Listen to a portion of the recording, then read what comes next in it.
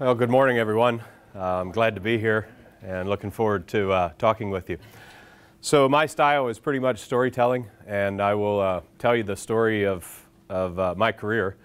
And um, often I'm surprised at it myself, and uh, I'll just, you know, kind of walk through that. But I have to warn you ahead of time uh, about 10 days ago, I got sick for the first time, I think, in five years. All right, so I learned a lesson because I went on vacation. And my wife keeps wanting me to take more time off, and so we went to Florida, and about two days in, I got sick as a dog. I had the flu, I guess, or something, I don't know what. And uh, so for most of the vacation, I was sitting on the couch or laying on the couch, and, and uh, finally got home uh, on Sunday and uh, took Monday off and Tuesday. Went back to work Wednesday. And I told Melody, I said, see what happens? You take vacation, you get sick. So I need to just stay home and keep working because I, you know, when I'm working, I'm fine. Everything works out just fine. But uh, so if I have a coughing fit and I sound like a hundred-year-old smoker, I apologize in advance. I think I'll make it through, but uh, I'm feeling much better now. So look, I break things down. I don't really care how old the audience. Uh, this works for middle school kids, high school kids, college kids, and adults. Because I think too often we just go through life doing what we are taught to do and what we think is probably safe. Uh, and very seldom do we step out uh, possibly as, as far as we should. So I have a very simple philosophy, and that is to dream big. And I, I mean dream big, all right? So uh, for everybody, that's going to be a little different. Um, and then work hard. There's nothing will replace hard work. Uh, and the third point is never quit.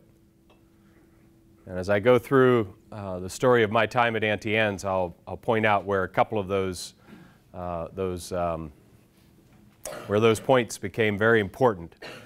Um, and, uh, you know, I think I, I've had an entrepreneurial spirit uh, since I was a kid. And uh, I'll tell you why I think that. So I was born, uh, I was an Amish kid, probably only till I was three or four. and I, I think, fortunately for me, my dad decided he really wanted electric and he wanted to drive a car. Otherwise, I might still be riding in a horse and buggy somewhere. And uh, that's okay, though. Um, but so as, a, as I think I was about 10 or 12, and you know how, I mean, there's these auctions, all right? And, and uh, now this actually was pretty long ago, I guess. Uh, it would have been in the 70s. And tourists were relatively new to Lancaster County. They were coming, uh, but I don't know if you ever saw that movie Witness uh, Harrison Ford, and uh, you know, was a little Amish kid witnessed a murder, and that that really launched Lancaster County as a tourist destination. That's not to say they weren't coming before, uh, because one of our biggest advantages for business and tourism and all of that is that more than 30% of our nation's population lives within about three hours of here. And I'm going to be off by a couple miles or by a million people or two, but. Uh, but between Baltimore and New York and, and all of the populated areas, Philadelphia, uh, we have a tremendous opportunity here uh, because it's all within uh, driving time. So as a little kid, uh, we, uh, I, was, I think I was about 10. We had some Amish neighbors, and, and we spent all time together. I lived way out in the country. There were no other neighbors. And we realized these tourists were interested in anything Amish. And so we went into the neighbor's house, the, the mom of, of these kids I was with, and we took a whole bunch of quart jars and uh, they were jars, you know, that they would, they would put away peaches and put away corn. And, and uh, so we went to the tap and we filled it with water. And we set up a little table out at the end of the driveway and we sold Amish water. And uh, we sold out pretty quickly. it was good until she figured out we had sold all her quart jars. she wasn't too happy about that. But uh, talk about a missed opportunity. That was before bottled water was a big thing. So I, I should have started a company at about 10 years old called Amish Water. I think we would have done pretty well. Um, but a little bit of advice. Uh, success requires a lot of fortitude. I think fortitude is a uh, possibly a lost art or a, a declining art. Uh, it simply means that you have strength of mind that enables you to overcome the challenges, uh, the negativity that you will often face. Uh, enables you to bear pain uh, more than most. And so if I had any single thing I would encourage you to work on, it's work on fortitude. You know, when you get poked, between the eyes, get back up and go again. Uh, when you think something isn't fair, probably isn't, uh, but don't worry about it. Just, you know, bear down and walk through it. Fortitude will be your greatest asset as you uh, develop your career and, and uh, go through your, your business life. My daughter, I think, has a pretty good handle on this. She's in her last semester as a senior in, uh, at a school in North Carolina. And uh, the other day I was, I was kind of excited because tuition's coming to an end for us, right? and she's like, oh man, she's kind of bummed that it's coming to an end already. She can't believe how fast four years went. And, uh, but I told her the same thing I'll tell you. And that is that the, you know, the, the end of your, possibly the end of your formal education is really just the beginning. Your time in college and learning uh, is, is really kind of just the price of entry anymore, you know. Um, it'll position you well if you put it to work, uh, but the end of your college experience is only the start of your journey. And there's lots of hard work uh, about to come your way. I love work. I really do. Uh, I am more comfortable working uh, than I am on vacation. I get bored very easily on vacation. And, uh, and uh, so, I, you know, work is something, if you learn to enjoy it, uh, for me, I was never an athlete. Okay, so we opened a sports complex, but I, I really don't have an athletic bone in my body. Uh, but you know, the P&L for me is the score sheet. So at the end of the month, I know if we won or lost the game that month. And uh, so I think each of you will find, you know, find your, your own way. Um, back in 1989, Anne and Jonas Beiler started Auntie Anne's. Uh, I'm always confused with Anne as her brother or her husband or something. Uh, Anne is actually my second cousin once removed on the Smucker side, not the Beiler. And uh, so even though we share a last name, uh, our, our relationship was uh, some distance. I think I have uh, over 100 first cousins and a couple hundred second cousins. So um, when I was a kid, I mean, Anne knew who I was, and I kind of knew who she was, but we didn't, we didn't really know each other. But this, uh, this Auntie Anne's was starting up. It was 1989. And there was so much energy around that business. And I'll tell you, a lot of it was Anne's charismatic personality. Uh, she drew people in. She really started the business to help other people. Of course, she made a good living along the way. Uh, but her greatest interest was in helping uh, people find their way and, and create an opportunity in business that, that would you know, potentially change their lives. And uh, clearly it did that. Melody and I bought a uh, franchise in 1989. At that point, I think they were $3,000 uh, for a franchise. Uh, we opened a concession unit. Uh, so it was a, you know, a concession trailer like you would see at a, at a fair. And we operated maybe 10 weeks out of the year. So we picked a couple in Maryland and here and there, and, and oh yeah, we found a couple in Florida that were pretty good in January. So, um, but you know, in the early days of Auntie Anne's, it was, it was really almost a lifestyle business. Uh, the first 30 or 40 locations were all in farmers markets. And farmers markets were generally open Friday and Saturday or Thursday, Friday, and Saturday. And people were uh, doing okay. They were making a good living. But more importantly, it, it fit into a lifestyle and and that's that's really what started it. But you know, the interest in that business grew, and it's very simple. Uh, why uh, the interest in in Auntie Anne's grew, and it, it didn't have anything to do with slick marketing. Uh, it didn't have anything to do with uh, strong promises of, of financial performance of any kind. But what happened is business people started walking by these stores in farmers markets, and they saw a line of people waiting to buy pretzels. And if you're a business person or if you're a salesperson, anytime you see a line of people with money in their hand, you know there's something going on. And, uh, and that's really what, what uh, launched the, the, um, the company in a, in a pretty uh, meaningful way, really, over time. Park City, not too far from here, was our first location. And I think we worked for about two years uh, to get into that location. And the, the manager, Monty Senko, um, he was a manager of the mall. And back then, uh, the mall manager did the leasing. You know, it was all pretty much self-contained uh, at the mall.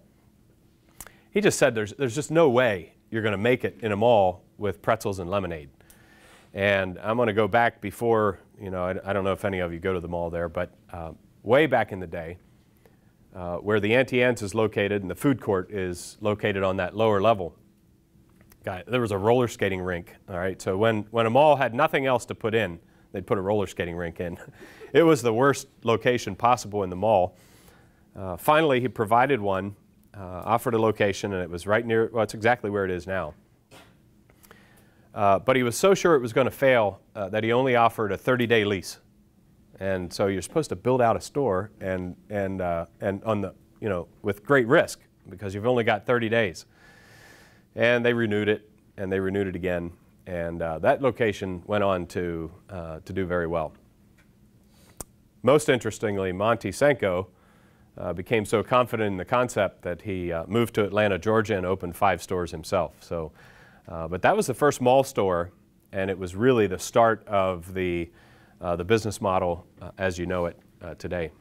So I had another business, but we, we did this uh, concession trailer a number of times a year. And Auntie Anne's had a franchise convention, I think once a year. And so I attended and met someone named Ellie Zemer.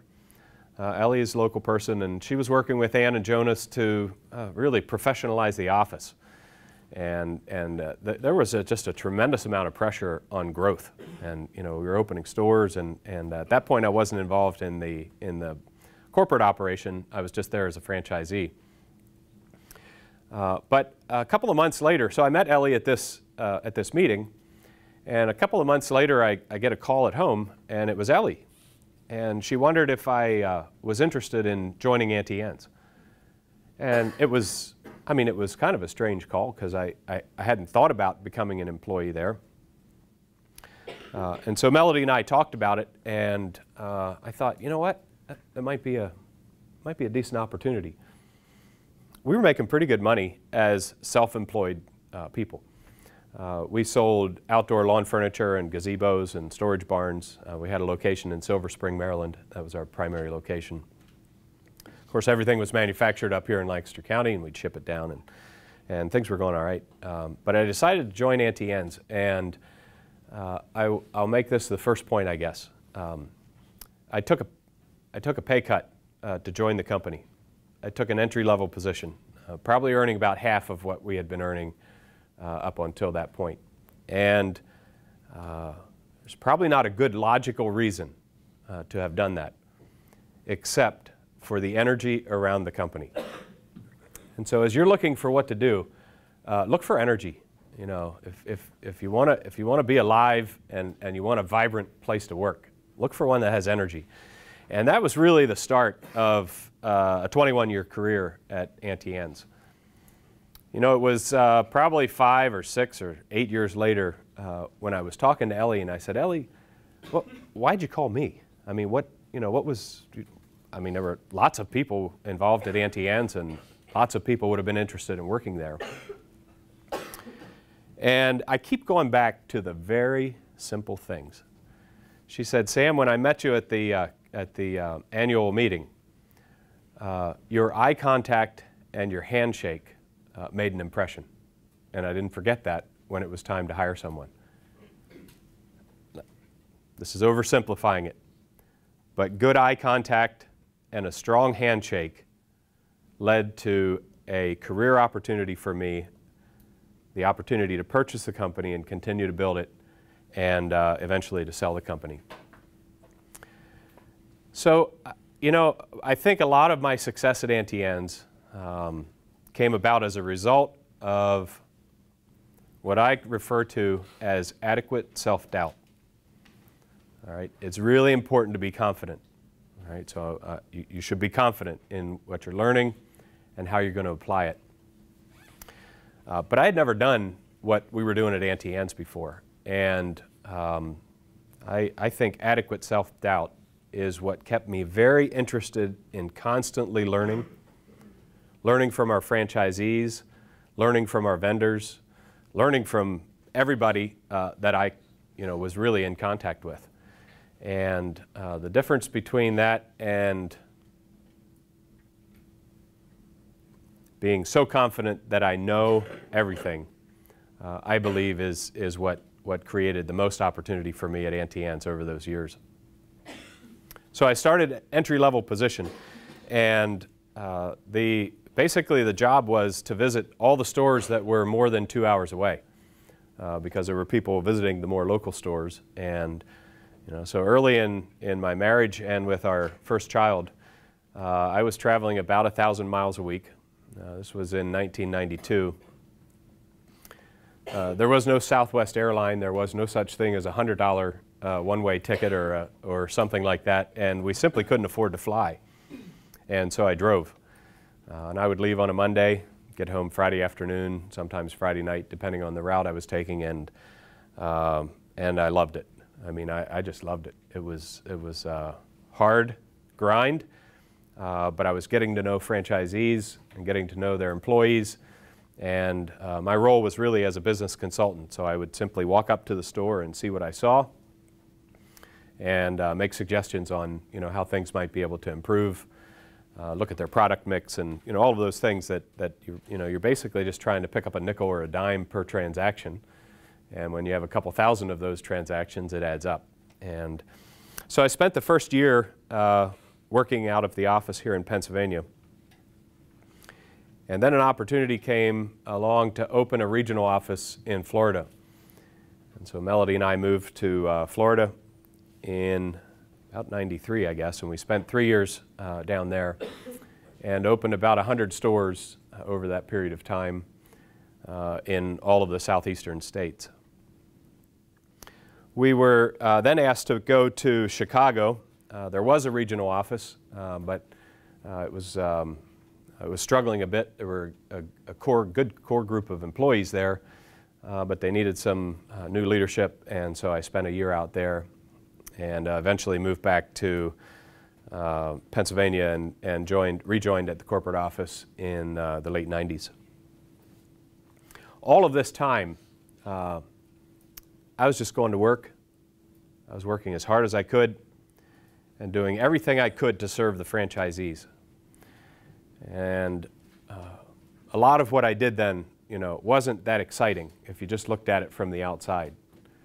Uh, but my encouragement to you is to always give everything you have, even if the job doesn't seem like that big a deal. And the reason is, as opportunities continue to uh, be created at, at the corporate office, uh, I now knew almost all of the franchisees in the Northeast. I had helped open uh, more than 100 stores with franchisees in the Southeast. And in the course of a year, I had visited with every single franchisee in the Midwest. And they had a lot of confidence in me. And so, as management positions uh, uh, were created or opportunities came along and they knew about the organization developing, uh, they were calling in saying, hey, you should consider Sam for that position. Uh, I had a lot of support among our customers, and there's probably no more important place uh, to build value uh, in terms of what you're providing. So uh, that, that you know, career continued to develop, and uh, eventually I was the president of the company, uh, working for Anne and Jonas. And, and as I look back over my time working for them, um, I would say that uh, probably the most important characteristic that I brought uh, in terms of uh, supporting them as a family and uh, them as business owners uh, was loyalty. And it was loyalty to Anne. Uh, Anne had a different way of going about business. Uh, and, and by different, I don't mean it was, there was nothing wrong with it, but it was, it was different than what you would find in a lot of businesses. And it was people first.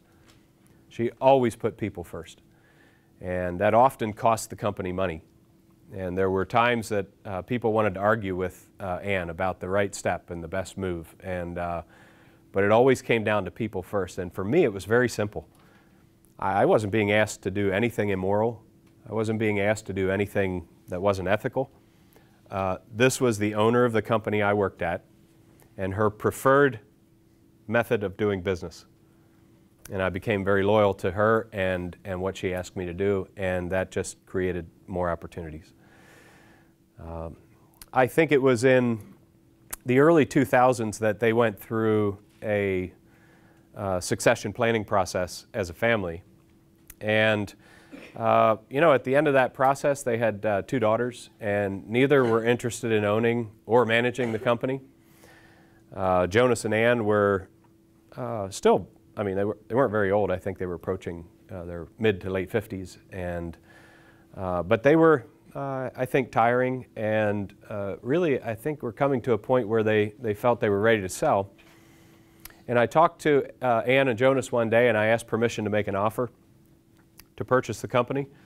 Uh, of course, there were several conversations leading up to that, and uh, and they they agreed to consider uh, an offer, and and uh, so I you know I basically asked, how much do you want for it? And there wasn't much negotiating uh, because I you know I, I, I wanted to respect what they had built, and so we we came to an agreement, and we began to work on on the, uh, the funding side of things, trying to uh, find a way to acquire the company. And, you know, at, at the end of that, uh, the number was pretty big, or at least for me, it seemed pretty big. And, uh, but I, I, it, I, made it easier because the, um, you know, there, there was a, a number at the front, and all of the rest were zeros. I figured, well, zeros are nothing, right? So what's the big deal? It's just this one number up front. And uh, so we managed uh, to pull it together. And uh, so I, I, think the, um, you know, one of the keys is, sorry, I'm going to sit down while I talk. You know, one of the keys was that, you know, this company, it was just pretzels and lemonade. Uh, but, it, but if you got inside of the company and, and looked at the in, internal management uh, and the internal management controls, uh, man, we knew almost every detail uh, of what was happening.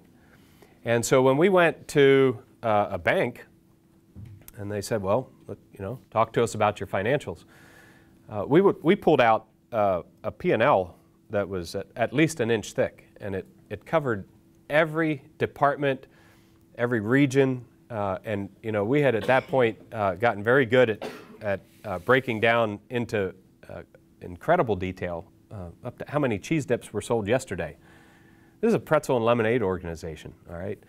Uh, but it gave the banks uh, tremendous confidence. And our, our lead bank at that point was Bank of Lancaster County.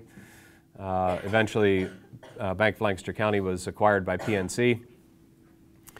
And uh, they, uh, they worked with, I think it was four other banks or maybe five other banks to participate this loan and, and put together the package. I, I believe at, at that point, it was the largest uh, lending deal that, that they had ever put together. And, uh, you know, I'm just sitting at the table watching all this happen thinking, what, what in the world? I mean, how did, you know, how did I get to this point? And it, it, was, uh, it was an incredibly uh, exciting time. But, you know, to afford uh, the, to create the ability to pay back this loan, uh, we had to make um, a lot of changes. And uh, those changes were in the, you know, the franchise fee, uh, our royalty, uh, the royalty that was paid by the franchisees. And, uh, but you know, we, we worked, uh, we applied a principle in our work with our franchisees that we applied throughout the company. And, and I basically called it participatory management. In that, you know, all important decisions, we wrote proposals and we would propose uh, the decision that, that we thought was, was the right decision. And we involved our, our franchisees in that process. And so, literally, when it came time to raise royalties, uh, we wrote that as a proposal and, and went out to the franchise community and, and gathered feedback and made some adjustments based on their, their input. And uh, I, I remember a franchise meeting in New York where we announced what we were doing, and they actually applauded a price increase. Uh, but it was more about the process. And so as you, as you think, and you will invariably, you all are headed for management positions of some sort or another, uh, think about that participatory process. And there's some great models out there. Um, but if you uh, uh allow people, if you encourage people, in fact, if you cause people uh, to be involved in the decision-making process, uh, what you're doing is, is taking most of the objections and dealing with them ahead of the decision instead of just making a decision because you're so cocksure of what you know uh, and then having to clean all of it up afterward. Uh, I promise, any major decision you make, you will either do that work ahead of the decision or you will do that work after the decision. And it is uh, almost always more productive to do it uh, ahead of the decision.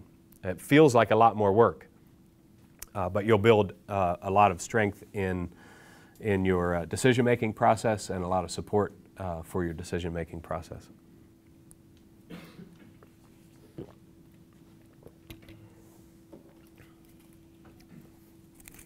When, when we purchased the company, I didn't really think about selling the company. Uh, it wasn't, wasn't the plan. I, I think I, I probably anticipated uh, being there for, I don't know, rest of my life or, or at least a, a pretty long time. Uh, we made all these adjustments to the model, and uh, no matter what business you're in, uh, there's going to be challenges. And, and I, I would say that the pace of business today, the speed of business today, is, is faster than ever before. And uh, a lot of that leads to op more opportunities more quickly. Uh, but a lot of that also means that whatever model you're working under today uh, could be gone tomorrow. And, and you have to be constantly working at understanding the model and, and making, making adjustments to, uh, to how you go about doing business. And, you know, we, we got to a, point uh, five or years or so into my ownership, and uh, there, were, there were several things happening that, um, let's see if I can sketch this. But, all right, so in, in any retail business, uh, net sale per customer is a big deal. So it means that every customer that comes up and you, you have a transaction, um, you know, how much are you selling them? You know, what's your, what's your sale uh, to each customer? And if I look at uh, net sale per customer, uh, over, over the entire uh, history of the company, uh, that number uh, kept going up. Uh, but one of our challenges was that the number of transactions at each store location was going down. And we were able to, you know, create small bumps, uh, but overall, it was going the wrong direction. And some of those bumps were uh, the pretzel dog. All right, so you know, we, we took the pretzel and wrapped it around a Nathan's hot dog, and man, it's good. I don't even like hot dogs, and it's it's good. And uh, you know, new dips or you know, cheese or cream cheese or whatever it was, but it was all around. Uh, Dutch ice was another great one. Um, actually, I had a much. Have you ever had the Dutch ice? Basically, a slushy, right? Um, uh, remember, it was Auntie Anne's. I wanted to call it antifreeze. Wouldn't that have been good? The lawyer said, "No way, some kid will drink it, and then they'll go out to the garage and they'll drink antifreeze, and then we'll have a problem." And anyway, so, uh, but you know, through those product additions, we were able to keep uh, the net sale per customer going up, even as the transactions went down. And so we're like, "What? I mean, what's going on? Everybody loves the product." But see what happened between the early 90s and uh, late 80s, uh, early 90s, and the early 2000s is if you go back into those late 80s, Park City and large malls similar to that, uh, that was where you shopped. Uh, at that point, there, there were no um, uh, Tanger outlets and uh, you know Rockvale outlets and uh, you, you, pick all the, the lifestyle centers where there are now only five or six stores. But between the late 80s and the early 2000s, the uh, number of square feet of retail space in the United States doubled. But the population of shoppers only increased at single digits uh, per year. So basically, you took the same amount of shoppers and split them out into uh, twice as much space and that's why our, our uh, transaction counts were going down. It, you know, wasn't really there wasn't anything at the model level uh, that we could do to fix that. Excuse me. That got me thinking about okay, what are the next steps? And uh, really, licensing the product, creating frozen products, you know, all of those things. That's that was the next step to to protecting the you know the long-term health of the company and. Uh, based on my relationship with franchisees, uh, basically I grew up with them, uh, I knew the level of conflict that that was going to cause. And it just wasn't something that I was uh, willing to walk the company through, and, and that's what led us to uh, finding a buyer.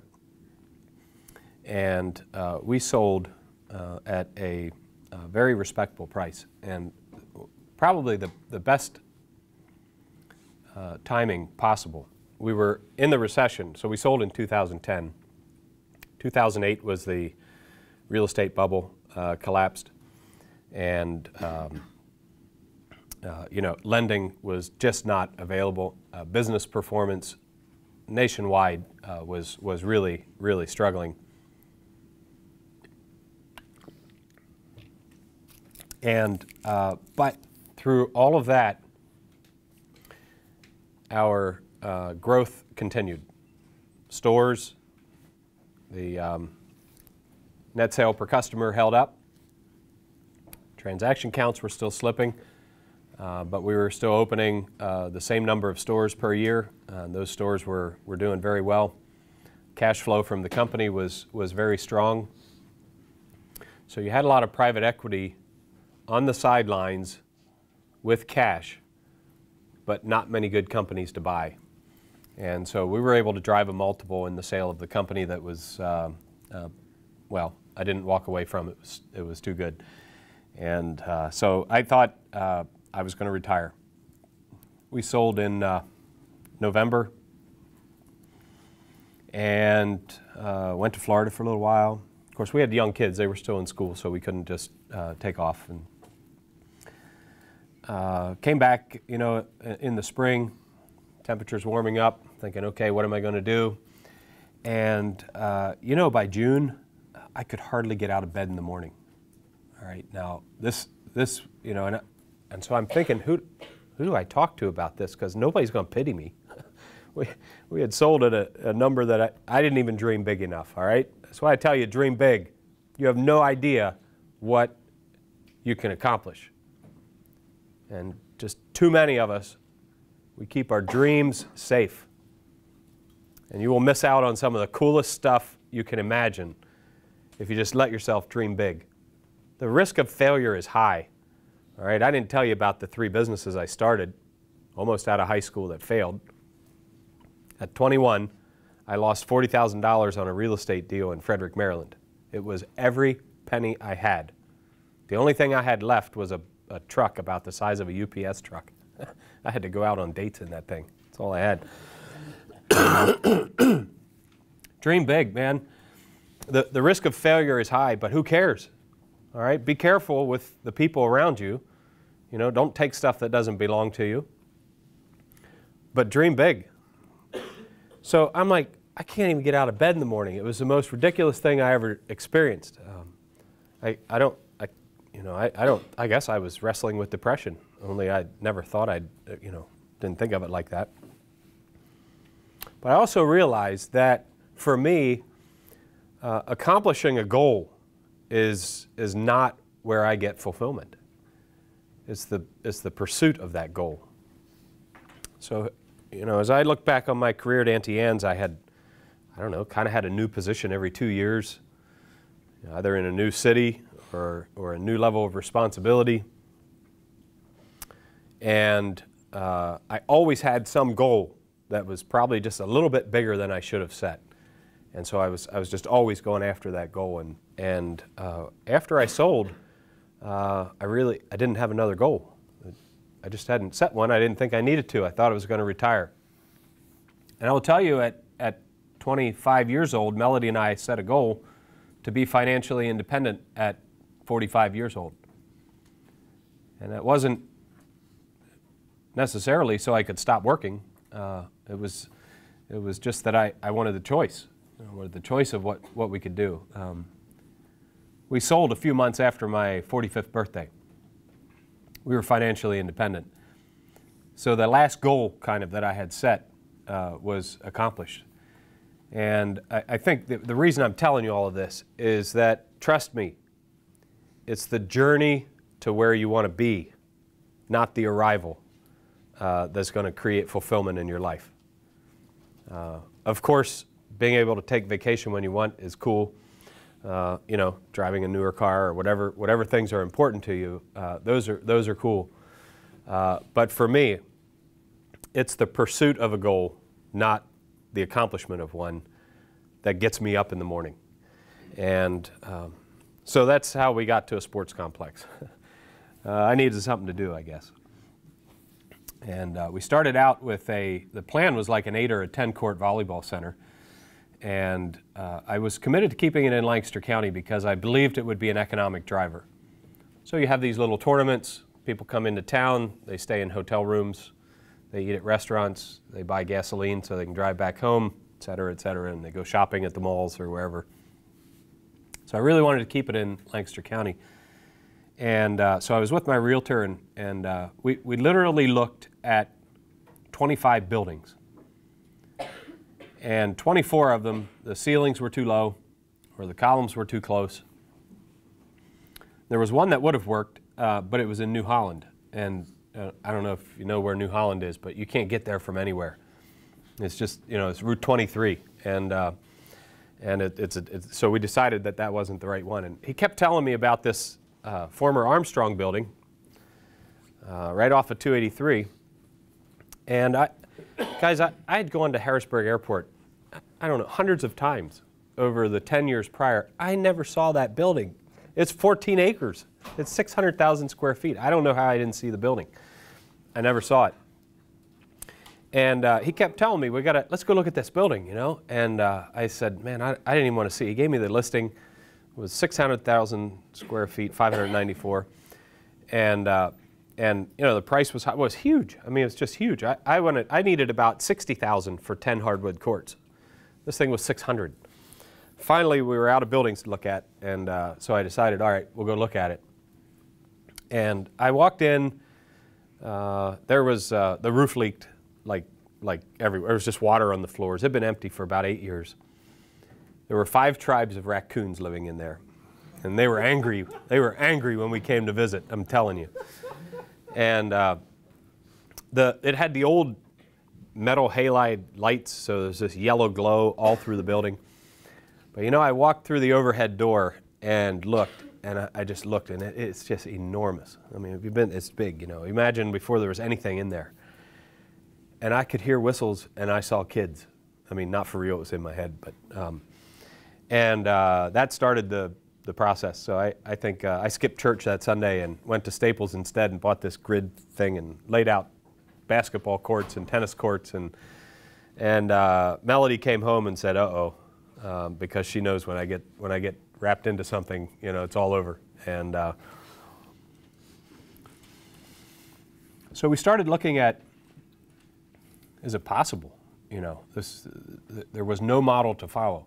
Uh, there is no other sports complex of this size.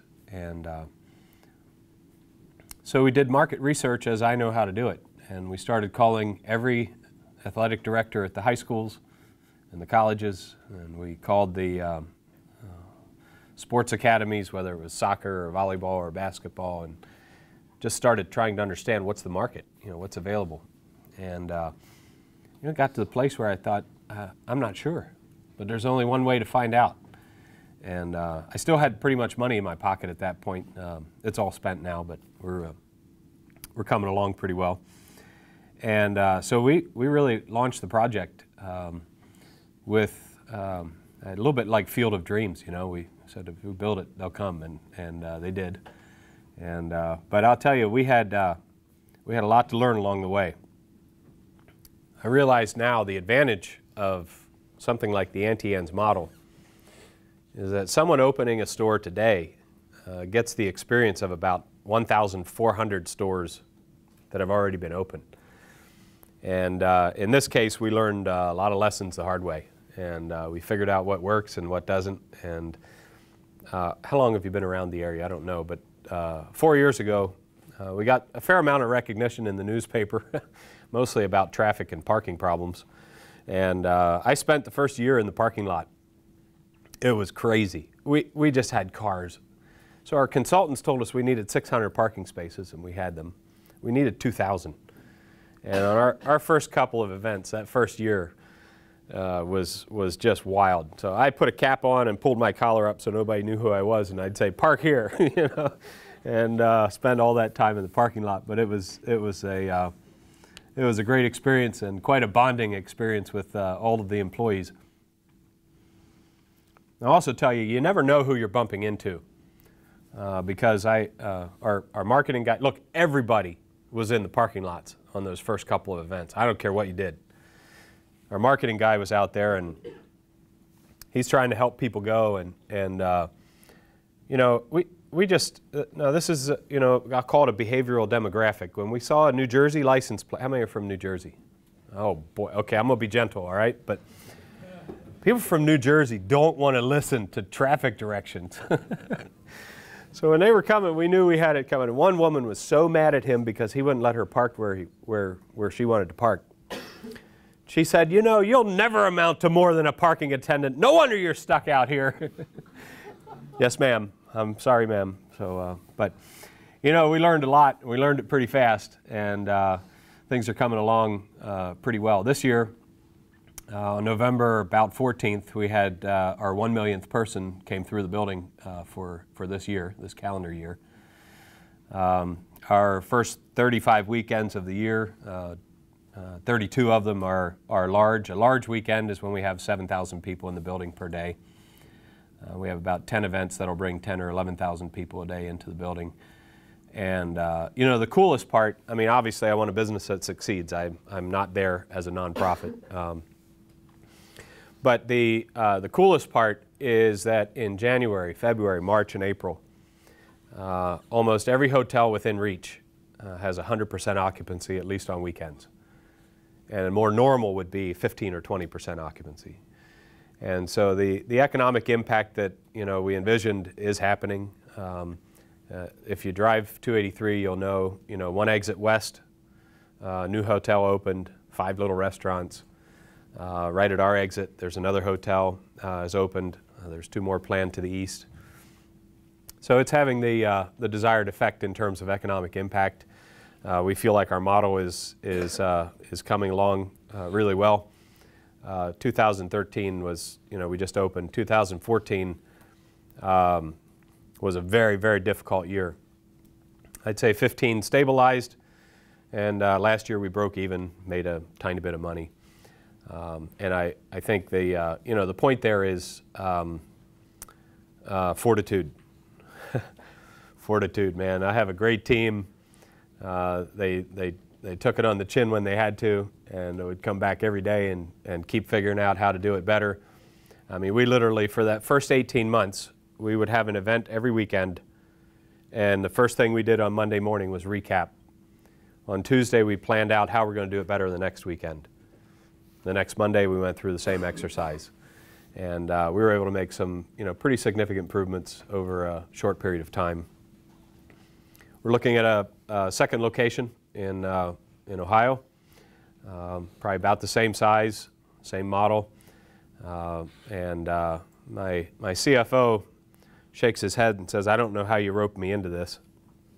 Uh, as we're trying to put together the, the, the package to open out there, and I said, well, I said, good luck, because I'm going to South Carolina next week to look at a third location. So we're, you know, I think there's a model, and, and uh, uh, I am most alive when I'm walking on the edge of risk. And uh, I intend to stay alive for a pretty long time yet. So, um, hey, I, I, don't know if you heard anything that was interesting there or not, but that's kind of my story, and uh, I'll be happy to answer questions or, or uh, give you any responses I know how to provide. Yes.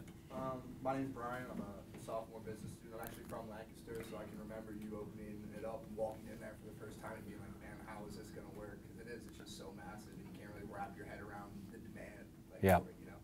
Um, but my question is kind of different. Um, you mentioned opening 100 plus stores in three years. That's so. Uh, that's just so much and so big. Uh, during that time, like, how many hours were you putting in? Like, what assistance did you get in doing that?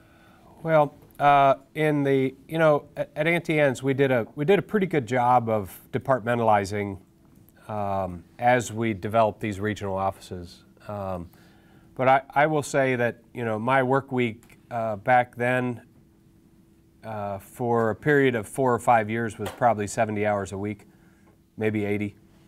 Uh, I drove a thousand miles a week, four out of five weeks. So you know just that alone is a lot of hours. But I had my routes planned out so that I would spend non-productive time driving. That is, before a mall opened at 10, and uh, and then after the malls closed at 9, I'd try to get another couple hours in to get you know closer you know to the next location. So. Um, and, and by the way, that was I still use paper maps. You know, there wasn't Google Maps, and there was this will date me, but you know, my cell phone then listen was uh, three dollars a minute, so you didn't use a cell phone much. You know, it was only only if you really really had to. Um, but I loved it. Uh, these people, the franchisees, you know, they were they were just they were working hard.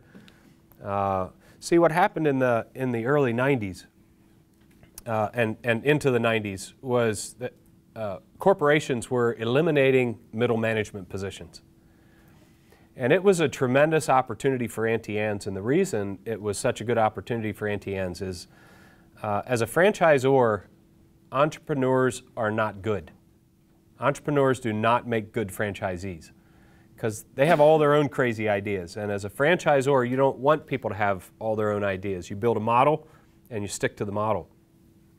Middle managers were good because they were very good at accepting instructions and implementing them. A lot of them lost their jobs. Along with that came, you know, multi-year buyouts for many of them, so they were capitalized. And so we, we I think uh, a lot of the success of our early growth came out of that middle manager group that was reasonably capitalized to open, open these stores. My point is a lot of them were scared because they had never been out on their own. And part of my job was to help build their confidence. And, um, and I, so, it, you know, I look back and I, I can't even tell you how much I worked because I don't remember. I didn't think about it then. Uh, it was just what needed to be done. Um, but uh, it's different today. Uh, you know, people are more aware of work-life balance and things like that. That I, I don't really know what that means. Uh, sounds nice, uh, but uh, it's not always effective. And you know, at, at the time that the company needs something, if you're there, it'll be uh, you'll create more opportunity for yourself. Yes. Hello, my name is Tristan, and I'm a first year officer as well. Um, I've heard the quote, what we do defines us a lot. I've heard that relates to business a lot. What would you say your biggest defining moment was in your career? Uh, I go back to my dream big, work hard, and never quit. Um, there were two points in my career at Auntie Anne's where uh, I almost quit. Um, I just, uh, something didn't feel fair, um, or the pressure was just, you know, too much, and it wasn't work pressure. You know, it was somebody else in the company, and and uh, and I, I remember uh, as clearly as if it were yesterday, uh, going home and talking to Melody, saying, you know what, I don't, I don't know if I can do this anymore. I mean, it's just, you know, it's, it's just taking too much out of me. And uh, that's why I talk about fortitude. Um, I, I, will tell you my, uh, my escape at that point, we, we had five acres in, that we lived on in southern Strasburg Township.